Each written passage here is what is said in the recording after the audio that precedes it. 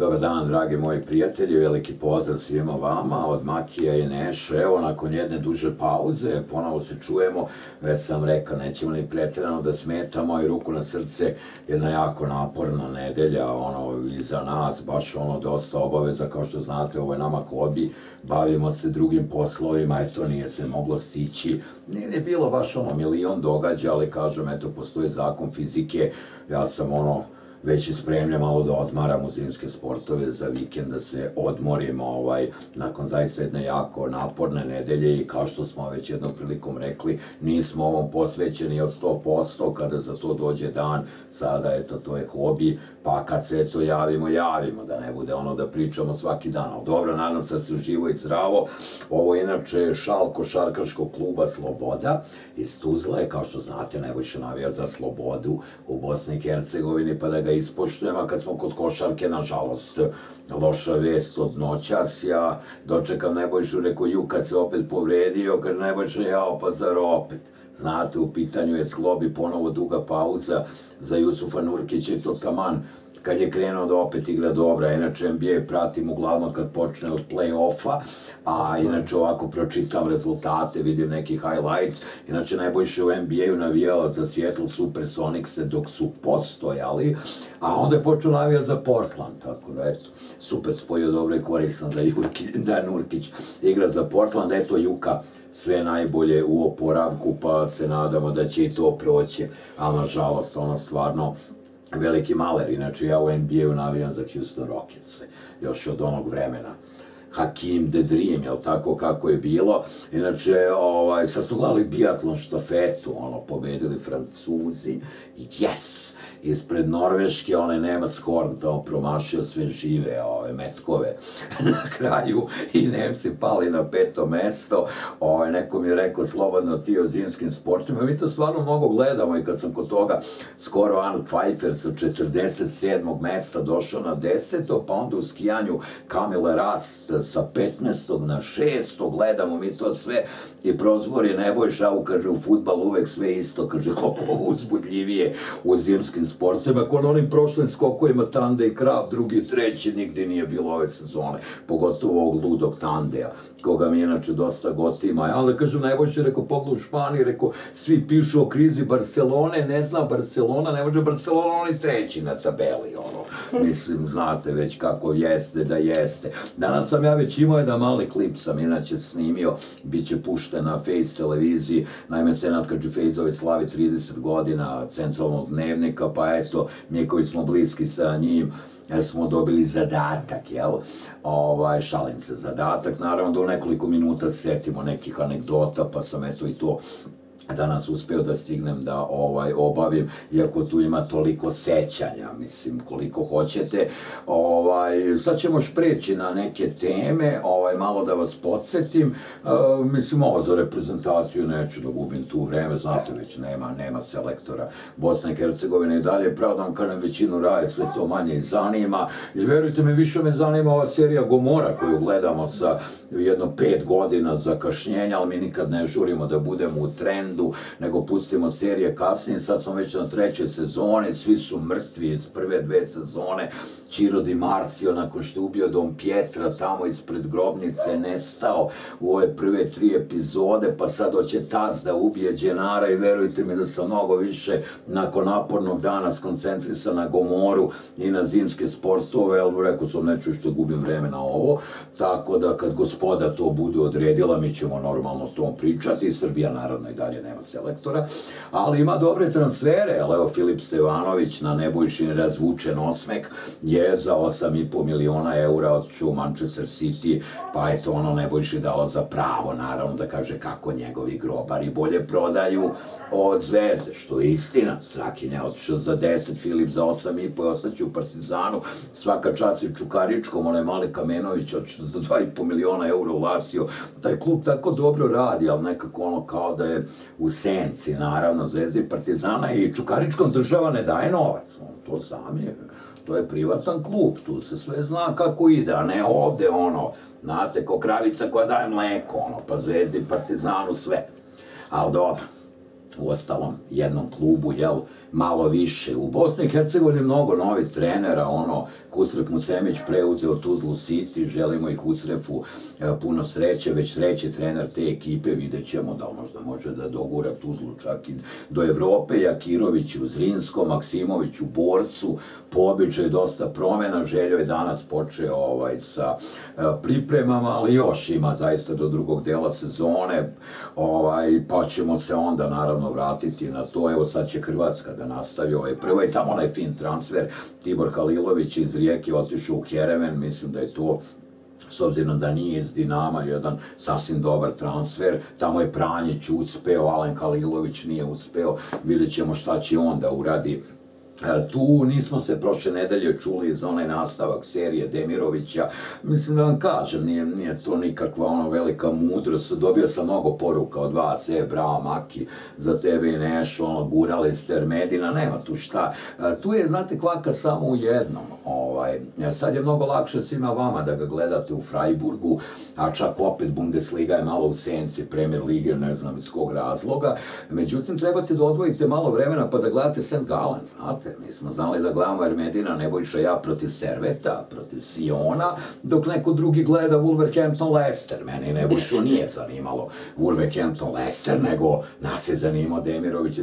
Gallen. Ista je situacija sa Sašom Kalajđićem u Admiri, znate moj ljubimac uz Ermedina, najveći u Bundesligi. Znate, sad ono kao nešto priča o njemu u Stuttgartu, pa što ga niste gledali u Admiri, mi smo njega gledali u Admiri, ja sam onda što rekao jedno zakuco, Lasku, valjda dva gola, rekao što dobar igrač, ko je ovaj, mislim sad je to posle rutinski, tako da mi volimo da otkrijemo te igrače ranije, sad imamo dosta imena kojima se ne priča, ali koja nažalost postanu velika imena, znate kad ono odu kao u bogatije klubove, e, vidjeli ste nižu se oni transferi, ne može čovjek da uprati sve to, eto Luka Jovice, vrati u Eintracht da malo popravi tu karijeru nakon 4-5 utakmica, mislim, u dresu Real Madrida, ono baš flop, što bi se reklo, vidjet ćemo sad kako će li Bas Dost otišao u klub Briž, gledali smo ove dve holandske utakmice PSV-a, Onaj bod protiv Ajaxa super, ono protiv Alkmara smo bili loše, sačuvaj me Bože. Ovaj, tako da čekamo prodaje Boadua i Stenksa, ne brinite vi za Alkmar. I Kop Mainers. Kop Mainers, bravo, nebojčno. Znači, taj Kop Mainers je meni bruka dobar igrač i zanima me ko će AZ trenirati, jer Slot će da preuzme Feynord, znate već da mi volimo te lige, ovaj, verujte mi, u engleskoj ligi nemamo pojma, ja stvarno ne mogu da lažem, u ovom delu godine zimski sportovi, privatne obaveze, Bundesliga, Cvajta, znate me to najviše interesuje, tako da malo na tu milionersku ligu nisam mnogo obraćao pažnje, u Arsenal i odmah nakon one serije pobjeda nije dobio Crystal Palace, ovaj, ja vidim da u ovom West Hamu koji je meni drago, a bivša porno glumica je valjda proglašena za drugu osobu kluba, nemam pojma, mislim, ne ulazim u to, žena se bavila tim poslom, posao ko posao, ja nemam nikakve neke glupe predrasude i te stvari, ali malo mi je sve to ono suviše ekonomski e, što smo pričali. Zanimljiv transfer je Dembele, u Atletico Madrid, moram priznati da se iznenadio kad sam vidio da Musa ima samo 24 godine, ovaj, mislim da je stari stvarno, a Slimani je došao u Lyon, kaže, Nebojša joj stari je islam, kaže, ovaj, ali dobro, gotivimo mi njega, naravno, ovaj, 32 godine i naravno Nebojšina ljubomora na Ajax, što je Sebastian Aller, ovaj, potpisao za Ajax, znate kad čovjek navija za PSV Eindhoven, onda ne može voli Ajax nikako. Ovaj, Aller je već imao asistenciju na prvu utakmicu, boga mi dosta love ostalo ovaj Ajax dao, ovaj, ali sve se tu Premier Ligi vrti oko ti neki veliki novaca, iako je to toliko prenapuhano, da je to strašno. Inače, kad sam kod tog novca, ne znam da ste danas pročitali vest o TV prenosa koliko više zarađuju klubovi sa zapada nego klubovi odavde. Znači, eto, Zvezda, dva učešća u Ligi šampiona, Liga Evrope, 80.000 eura od TV prenosa presmešno. Na kraju krajeva i Dinamo 500.000 eura da ne prodaje igrače. Šta da rade s 500.000 eura? Stavno to godišnja plata za čistačice i za ostale u klubu. Međutim, to će se sad u Hrvatskoj popraviti, a kad će klubovi u Bosni i Srbiji da dobijaju veći novac od TV prenosa, to ćemo da vidimo, premda je u Francuskoj Hrvatskoj velika frka oko toga, povlače se sponzori, da li to utiče ovaj virus, pandemija, nemam pojma, i najavljen je veliki egzodus i prodaja igrača iz Francuske koji tradicionalno snadbevaju ostale lige ovaj, sa igračima usled nedostatka toga. Eto još jedna informacija za vas, KFC Irdingen verovatno neće imati licencu za narednu sezonu, oni će igrati dalje, međutim, s obzirom da im se onaj Rus Ponomarov, čovjek malo onako sumnjivog backgrounda, ovaj, koji je bio kao neki tu glavni baja, povukao veliko je pitanje šta će biti sa licencom i već se piše da će oni možda ispasti u četvrtu ligu, što bi, na primjer, bilo dobro za Magdeburg i Duisburg, ovaj, koji su dole na dnu tabele. Znači, ovak stvarno u ovom delu godine obožavam gledam sportove, kažem, evo, sad će bude ovaj vikend skijanja, nažalost i tu utiče pandemija, svetsko prvenstvo u skijanju će biti bez gledalaca, ali ne osjećam grč koji je pred nama večera. Zašto je Grč pred nama večera? Zato što Roma igra s Lacio. Nemojte me stvarno pogrešno shvatiti. Evo i Lulić je u Laciju oporavio se, ja zaista ne želim da ulazim u nekako ono duele s ljudima koji navijaju za Lacio, međutim, stvarno ne možete to da poredite, mislim, ko je u tom gradu glavni, mislim, da me stvarno ne razumete pogrešno, ali, mislim, rekli su mi ljudi koji su bili češći u Rimu nego ja i, mislim, stvarno, ovaj, da poredimo tu sada ko je veći, znači imamo tu utakmicu 15 do 9 i onda ćemo se prebacimo na Porto Benfica na drugo poluvreme, to utakmica tek u 10 sati počinje i to je nešto što nas najviše zanima praktično ovaj vikend. I kad sam nekako gledamo futbal, odmah neki grč, nešto kao napeto, sva gleda zimske sportove, opušteno, mislim, navijaš isto za nekog, ali onako nekako bolje, ali kažem još večeras i ovo je protiv Lacija, a ne mogu onaj port očima da vidim, mislim, ja stvarno, mislim, moram nam priznat, Panathinaikos u Grčkoj, Lacio u Italiji, Fener, Fenerbahče, Porto, mislim, Panathinaikos. Panathinaikos, stvarno, izvinjavam se, pozdrav svim navijačima tih klubova, ali, mislim, ne volim te klubove, ja inače, koliko god volim Galatu, ja volim Bešiktaš, meni Bešiktaš drag, nemam ja problem ovaj, s tim, igraju ovaj vikend Bešiktaš Galata. I to ono kad Galata izgubi od Bešiktaša, meni nekako to nije toliko teško, mislim, ali ili imaju super navijači, ali Fenerbahče, mislim, ono, Porto, Panathinaikos, Lazio. Ću me Bože. I kaže, ne se za kraj, mislim, ovo oko rukometa. Mislim, uopšte ja nisam rekao ću gledam rukomet, to mi je muka od toga, mi stvarno. Mislim, prvo 32 ekipe. Urugvaj u rukometu. Kap Verde u rukometu, mislim, molim vas. I drugo, ja toliko godina pratim sportove. I da dve ekipe ne dođu na svetsko prvenstvo 48 sati pred svetsko prvenstvo i onda se pojave makedonci koji su trenirali znajući za taj kaos i švajcarci, a švajcarci slete 4 sata pred utakmicu i dobiju Austriju. Mislim, čujem izjave Sagosena i ostali igrača da su uslovi katastrofalni, da neko nosi maske, neko ne nosi, neko ovo, neko ono, to je haos. To je opšti kaos. Pritom sistem takmičenja gde Danci, Hrvati na jednoj nozi će doći do četvrt finala.